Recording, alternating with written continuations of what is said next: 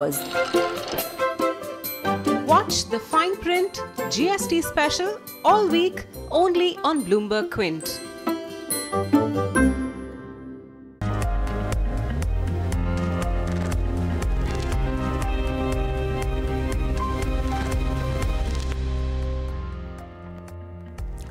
Morning. You're watching All You Need to Know on Bloomberg Quint. I'm Darshan Mehta. If you're looking at what's happened from the global markets, the, the handover hasn't been the most impressive, at least from the US markets. The Dow Jones the S&P and Nasdaq, all of them ended much lower. Uh, Europe did extremely well for itself, but uh, coming back to Asia, most of the Asian markets are trading with a negative bias. Even if you're looking at what's happening with the SGX Nifty, it is indicating a downtick of 26 points post a cut of almost 100 points that we saw yesterday. All the ADRs ended with a negative bias. Uh, the worst of performance has been coming from ICICI Bank and Tata Motors, which have been down over the past few days, uh, despite you know all the positive news that have come in. Vedanta, Wipro also down in trade. Most of the ADRs, in fact, all ended with a negative bias. Now, if you're taking a look at what's happened as far as uh, the benchmark and, and the broader markets are concerned, the Nifty was down 100 points, so 180 points down on the Nifty Bank. It was much worse as far as the mid caps and small caps were concerned. The mid cap was down 1.5%, the small cap was down almost uh, over 2.3% in trade. So, clear pain was seen on the mid cap end. The only sector that managed to do well yesterday was the IT sector, and that was on account of how the rupee is uh, depreciating against the dollar. Now, uh, these were the two sectors that didn't do well. Energy uh, weakness was seen on the oil marketing companies because of crude and the rupee uh, equation has played played out for them. And Reliance has not been performing. The PSU banking space has been rather weak. Uh, it's down almost two and a half percent in trade yesterday. Now, uh, if you look at take a look at what's happened this month, only two sectors have given positive returns: the pharma index, which has outperformed, and the Nifty IT, which is out, which is up almost three percent. But look at the high beta counters: the real estate, the infra, the small cap, all of them down over eight percent in trade. Now, even if you take a look at what's happened this week itself uh, uh, in the past three days, the Nifty IT index is up almost 1.7%. But look at the cuts that have come in on the index indices like the real estate, PSU, and energy down anywhere between 4 to 5% in trade. So, clear weakness is seen on some of the sectors. Uh, stocks at a 52 week high. Um, these are the high value counters which are doing well for itself Bata, Dabur, Hexaware, Infosys, TCS, IndusInd, Jubilant Food, HUL. So these are the counters that keep on going much higher and there are counters which keep on going lower. Uh, those are the PSU banks which haven't done well over the past few days. Uh, surprisingly, CEAT, Jet Airways, uh, uh, which were moving significantly over the past few quarters have, have actually gone to the 52 week low. You have counters like Motilal Oswal which has actually corrected 50% from its all time high. Motherson Sumi, Tata Motors. So there seems to be a lot of issues issues as far as some of these companies are concerned. Now, flows surprisingly yesterday, despite a 100 point drop on the Nifty, FIS, DIS, both of them were buyers. FIS sold in almost 3,600 crores in the cash market. DIS have bought in almost 11,500 crores in the cash market, indicating that it's a liquidity uh, driven market. Uh, VIX moving up, given the fact that the Nifty was moving down, but still is, is not at elevated levels. What contributed on the positive side? It was HDFC Bank. If HDFC Bank was, was not there, would have seen another 20 30 point cut on the Nifty. ICICI Reliance, BPCL were the main contributors for the fall in Nifty. It's expiry today and uh, the Nifty and the Bank Nifty ahead of the expiry are looking extremely weak. The Nifty was down 1%, the Bank Nifty was down 7 tenths of a percent and uh, the rollovers have been rather weak this time around. So the rollovers are clearly not coming this time around. What happened yesterday was that the call and put writers became extremely aggressive which gives an indication that 10,700 which was very very critical support was broken yesterday and at 10,700 and 10,800 positions were cracked in trade. Now if you take a look at the total open interest, you can see that the expiry probably will happen between the 10,600 and 10,700 mark in trade. Leg looks very unlikely because of the resistance that 10,700 or 10,800 will be taken out in trade today. Now, as far as uh, uh, the stocks in the band are concerned, the, the same stocks continue. Dewan, JP Associates, Infibeam, you have counters like Wockhardt, Jain Irrigation, and IDBI Bank. The only exception is Crompton Greaves Power, which goes out of the FNO band. The Nifty PCR, the Bank Nifty PCR, both of them came down given the fact that how the market has been reacting negatively uh, to the recent developments in news. Uh, apart from it, some of the stocks that I want to point out, NBCC at a fresh 52 week low continues to grind in lower. You have uh, you have a DCB Bank which continues to grind in lower. It saw a drop of almost 2%. Adani Enterprises which saw a drop of almost 10% in trade yesterday. And the only exception yesterday was Tech Mahindra which was the biggest gainer on the Nifty. That was up almost 4% in trade. So that's what's happened in our markets. But uh, let's go across to Bloomberg's Paul Allen for all the top international headlines. Minneapolis Fed Reserve President Neel Kashkari says he believes U.S. inflation is legitimately moving towards the central bank's target. In an exclusive interview, he told Bloomberg that with inflation about 1.8%, he's comfortable with moving towards a neutral rate, which could be one or two hikes away. He also says the Fed should determine a neutral unemployment rate and stick to it. I think one simple thing is don't ratchet it up. You know, if we if we figure out where it is, maybe it's four and a half, maybe it's four, maybe it's three and a half. If we in this cycle say, okay, well it really is three and a half or three seven, I say the next time there's a recession, let's just hold it there yeah. and let's operate monetary policy using that assumption rather than the reflexive ratcheting it back up. New Zealand Central Bank held interest rates at a record low but signalled it's prepared to cut them if needed as economic growth slows and inflation remains below target. Governor Adrian Orr says in a statement that the official cash rate will remain at one and three quarter percent for now. Economic growth has been weaker than the RBNZ expected and business confidence has slumped to a seven-month low. Bank of England Governor Mark Carney says time is running out to remove a Brexit threat to as much as $127 trillion of derivative contracts. The contract continuity issue could cause havoc in financial markets when Britain leaves the bloc next March. Carney says the UK has announced steps towards a solution, but so far the EU has not reciprocated. UK government's temporary permission regime would provide the UK side of the solution. The EU has not yet indicated their solution to these fundamental issues, which would be expected to have more material impacts on the costs and availability of finance on the continent in the un unlikely event of a disorderly Brexit. Apple and Samsung have reached a settlement in their US patent battle, putting an end to a seven year fight over smartphone designs. Terms of the accord weren't immediately disclosed. The string of lawsuits started in 2011 when Apple sued Samsung for allegedly copying the design of the iPhone. The settlement follows a retrial in May in which a jury awarded Apple $539 million in damages. Global news 24 hours a day on air and at TicToc on Twitter, powered by more than 2,700 journalists and analysts in more than 120 countries. I'm Paul Allen. This is Bloomberg there's going to be a lot of upward pressure on oil. I mean, look, uh, right now there's a little bit of prompt overhang still in the Atlantic basin, which we are clearing off because we had really high U.S. exports in the past. Uh, but once that clears up, I mean, you are looking at substantial upward pressure. I mean, there's no reason why we couldn't trade into the 90s, even probably higher by year end, uh, given the volume of oil that we're talking about that could be lost. Um, Amrita, let me bring you over to my chart, which is basically looking at Saudi Arabia planning a pump uh, to pump a record amount of crude in July. How concerned is the market right now that if the Saudis do increase production, there just won't be enough spare capacity? That's it. That's that's part of the problem. Well, you know, the uh, the other issue with uh, what happened yesterday is that Saudi Arabia were putting out different numbers every hour almost, right? It was uh, 10.6 at some point, became 10.8, became 11. I think the market really thinks it's panicking. Uh, and like you said, I think firstly, even if we assume that uh, Iranian exports are not going to go to zero, we don't think it's going to go to zero. We think it should be about a million barrels per day. That's still a drop of about one and a half to 1.6 million barrels per day from current, from sorry May levels levels.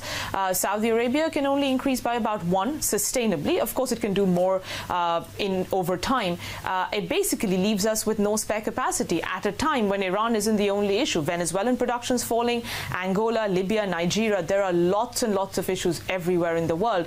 Um, what more can Saudis do? Back to Indian equity markets. Hi, this is Nikki and stock of the day today is Mercator. Well, the company has received the mining license to operate in the state of Gujarat for 20 years, likely to exploit 23 million barrels of recoverable oil. The field development plan, FDP, gets uh, the Director General Hydrocarbon approval. With this, the company is expected to start the, uh, the production as soon as possible. Uh, the guidance uh, is expected, uh, the commercial production is expected to begin by Q2 FY19. That's what it had put out in the presentation in June. Uh, to ramp up the production by Q4 19, and this is expected expected to be EBITDA positive right from the time of commercial production. If you look at the timeline that the company had earlier guided, it was back in August 2017 that the commercial viability of this uh, block was explored. Feb 2018, we got an approval for FDP, and March, April 2018, there were uh, there were trials which were being conducted uh, conducted for this for this production. Now, in 2018, the company has received the mining license approval. Q2 FY19, as mentioned, there will be a commercial production, and Q4 FY19, we expect this production to ramp up. Well, if you look at the guidance that has been given by the company, that's a fairly decent uh, place, I'd say. FY18, the revenue was around 974, which is further guided to increase by 1200 to 1300 odd crore in FY19 and further improved by 1450 to 15550 crore in FY20. EBITDA, which stood at around 974 uh, level in FY18, sorry, 142 uh, crore level in FY18 is expected to jump up to 425 to 470 crore. Margins are expected to improve to 30 to 35 percent in FY19 and further improve to 35 to 40 percent in FY20. Also, if you look at the current debt position, that is also expected to come down. The current debt situation stands at 1,435 odd crore, and that is likely to reduce by a good 10 to 15 odd percent for the company. Well, let's shift focus to currency and commodity space. Uh, starting off with Indian rupee, it was a weak session. Clearly, yesterday it ended for the ended lower for the third consecutive session, uh, which is down nearly six tenth of a percent at 68.64 levels against the dollar, which is its lowest uh, in over 19 months. Remember, the all-time lows for the rupee stands at 68.8625 levels, which was seen uh, last on 24th uh, November 2016. Now, the rupee, along with other Asian Asian currencies has come under pressure in the last few trading sessions on the back of rising crude oil prices, trade war fears, along with a sharp sell-off in the Chinese currency, which has happening, which has been happening in the last six trading sessions. The Indian rupee remains the worst performing Asian currency, and at the current levels, it has depreciated approximately 7% in the start of the year. Well, speaking of the bond market, sovereign bonds declined yesterday as yield on the 10-year uh, benchmark bond ended 4 basis point higher at 7.87 in terms of flows into debt market, global funds uh, increased, infused uh, rupee debt holdings uh, for the second consecutive session yesterday, according to NSDL data. Well, on the global front, dollar extended its winning streak for the second straight session and ended six tenth of a percent higher, near 95.30 levels, while euro and pound both slipped nearly eight tenth of a percent against the dollar yesterday. And lastly, speaking of dollar rupee, now it is trading quite volatile at 68.80 levels, uh, which is very close to its all-time lows in the non-deliverable forward market. So traders are expecting RBI to intervene in today's currency market, maybe at the open or uh, during the day to defend the currency movement. Uh, having said that, let's shift focus to commodity space. Good morning, Jayesh. What cues are you picking up since oil is at all-time highs? That's right, uh, Saloni. Uh, in fact, oil prices have uh, surged more than 3% overnight, and this was the second straight 3% uh, plus move that we got uh, for uh, you know oil for WTI. Now, this is on the back of the inventory drop that we were expecting and had informed yesterday. The U.S. crude oil inventory had in fact declined by about 9.9 million barrels for last week. What is also aiding oil prices is the American pressure on the buyers of Iranian oil. As far as brokerages are concerned, we have yet another note, uh, bullish note rather, from Stancy in which they expect that uh, the low inventories could push WTI prices northward of uh, $75 per barrel. So that's as far as the oil markets are concerned. But if you look at the base metal space, the index itself snapped its two-day decline. Most of the base metals did manage to, you know, up, manage an uptick for themselves. Uh, the zinc cancelled warrants, in fact, surged uh, 47%, which was the most in four weeks. And uh, despite the fact that it did manage to surge 1%, zinc prices are still trading near a 10-month low. So zinc and lead gained more than 1% each, and we had tin which ended more than 1% down. Now, if you look at the Shanghai Futures Exchange, uh, most of these base metals are in fact trading with a positive bias. Uh, zinc and steel in particular focus have gained more than 1.5%, while copper and aluminum are trading marginally in the green. As far as gold prices are concerned, we've seen some bit of pressure for gold prices continue, and with yes yesterday's uh, or uh, today's six-month low, what has happened to gold is that it has now become the most oversold in over a year now. Amongst the stocks uh, one should track and trade today is Exide Industries, which has signed a joint venture agreement with the Swiss company Leclanche to build lithium-ion batteries uh, for the Indian market. In fact, the uh, production plant will be based in Gujarat. That's what the company has said. Additionally, Exide will be the majority shareholder of the JV and uh, the Swiss company will be the strategic minority shareholder. The module and battery pack assembly line will be operational by the second quarter of 2019 and uh, the other plant will be operational by mid-2020. So overall, uh, it will come on stream only by uh, FY20, but that's one stock to watch out for. Uh, GMR Infra is another one on the list. Now it has been selected as the bidder to develop commercial port in Vizag and this port is uh, to have an initial capacity of 16 MT, so watch out for that name. Uh, the third stock on the list is uh, Talwalkars Better Value. Watch out for that name because the demerged entity Talwalkars Lifestyles will be listed on exchanges uh, tomorrow. So let's see how this stock reacts today. Uh, you also also have a couple of bulk deals. One is Zee Media Corp, where promoter arm Infra and Utilities has sold 1.03% stake. Uh, the buyer is JSGG infra developers which has bought that much uh, or equivalent stake. Remember last week also on last Friday uh, there was an exchange of uh, equity of 1% or so in between these two entities itself. So that's a stock to watch out for.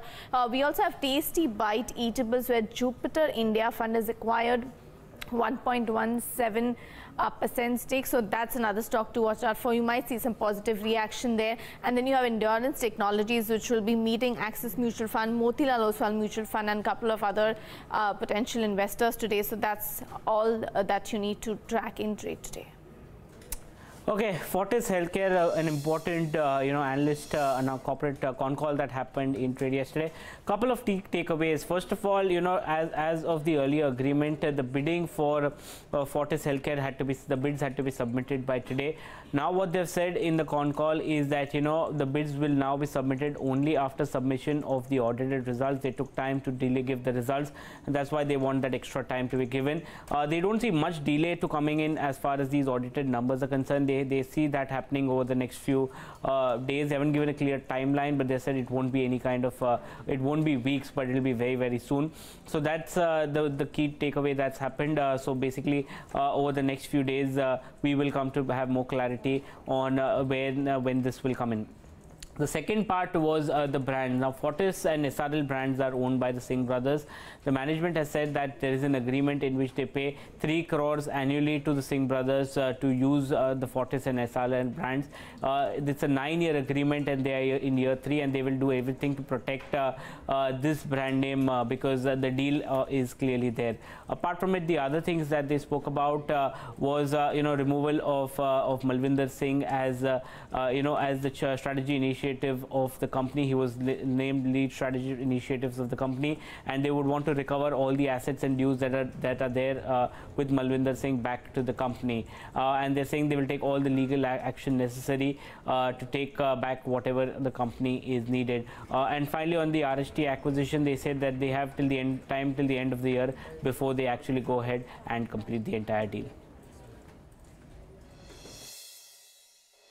the general direction is going to be towards more protection, more restriction, less trade, more uh, inability of U.S. producers to produce, which will mean less willingness of U.S. producers to hire and will hurt uh, the very workers President Trump is most focused on. So right now, this looks pretty awful. Why why would we be, in the name of national security, putting tariffs on Canadian steel that raise the price of steel for everybody who produces automobiles or everybody who's producing bridges over uh, rivers or strengthening the country's infrastructure? Why would we want to tax all of that in order to put a burden on Canada and what that's got to do with our national security is kind of inconceivable. Uh, so I have to say it doesn't look like a very good picture. But one thing we know with this president is things change quickly, and perhaps they'll it'll get to a better place at some point. So far, the economic costs have been pretty limited. Some warnings, perhaps, from companies. Do you see any concrete impact on the economy yet? I think it's too. I think it's too early. I think you do see some uh, signs of increased uh, uncertainty leading to delay in uh, investment plans, and I don't think that uh, there that it's trivial thing that when we deliver our threats, the market moves down by hundreds of points, which represents the destruction of hundreds of billions of dollars of wealth, at least on a temporary basis. Well, moving on to some more stocks to watch based on yesterday's delivery buying and selling. The first stock on the list, uh, that should be RBL Bank. Now, that was down about 2.5%, uh, a little bit more, uh, and saw delivery selling of nearly 160 crores. The delivery volume and the total volume both surged more than 150% as compared to its five-day average. Second stock to watch, that would be Tech Mahindra. Now, that was up about uh, nearly 4% in trade and saw delivery buying of more than 125 crores. The delivery volume, however, surged 68% and the total volume also surged. Uh, the third one uh, to watch out for, that would be ICICI Bank. Uh, Wednesday's fall was about 3.1%. Uh, delivery value was about uh, 366 crores. The delivery volume surged 65%, while the total volume surged just about 25% as compared to its five-day average. Big brokerage calls for the day. First, we have HSBC on HCL Technologies. Now, the brokerage has raised the rating on the stock to buy from hold and has also raised the target price to 1065 from 1050. Now, though HCL Tech is expected to grow at a slower pace in financial year 2019 when compared to the top four IT companies, the, the, the valuation, the discount for the valuation when compared to the large four IT companies is extreme according to the brokerage. Now, if you see, the brokerage also says that HCL is the cheapest stock in the Indian IT sector across the large and mid-cap stocks, and the discount could largely be because of the investor concerns related to the long-term outlook for the infra space and over the logic behind buying the end-of-life IP product from IBM. Now, second we have is Motilal Oswal on Tata Communications. Now, the brokerage has maintained its buy rating on the stock with target price of 730 now. According to the brokerage, strong order book would drive revenue growth for the company going forward. Now, the brokerage is expecting the growth service revenue to grow at a compounded annual growth rate of 32% over FY18 to FY21 and as ATM transactions and cash supply have grown over the last two quarters, Tata Communications ATM business is expected to see, uh, see a recovery both in its revenue and EBITDA in financial year 2019. Now the innovation segment of the company is expected to be a bit slow and contribute only 10 million US dollars to the top line in financial year 2019. Lastly, the earnings of the company which were lately hit would, is expected to recover from the second quarter of financial year 2019. Third, we have a Kotak on Colgate. Now, the brokerage has maintained its IR rating on the stock with a target price of 1300 rupees. Now, according to the brokerage, Colgate has not regained any market share that it lost to Patanjali so far. Also, the uh, underlying category-wise volume growth is rising, but at a slower pace for Colgate. However, the company is hopeful of a rural recovery uh, going forward. On the cost side, the brokerage says that the price hike that the Colgate is going to take going forward will suffice the rise in input cost going forward. Lastly, it is expecting the investment in advertising to be higher for its flagship brand in the national segment. Lots to talk about over the course of the day, including crude oil prices, the fact that the rupee is nearing its all-time low, and of course, live markets. You'll find all of that and more on Bloomberg Quint Live. There are also several stories that are currently on the website that you can read. That's bloombergquint.com. Jet Airways is offering up to 30% discount on its international flights and up to 25% discount on select economy class flights within the country, according to an emailed media statement. The discounted tickets will be on offer till the 30th of June. And the government has started discussions for the sale of Air India's iconic building in Mumbai to JNPT as part of efforts to raise funds for the airline. That's all you need to know going into trade today. Up next is Indian Open and it'll take you through Market Open. Thanks so much for watching. This is Bloomberg Quint.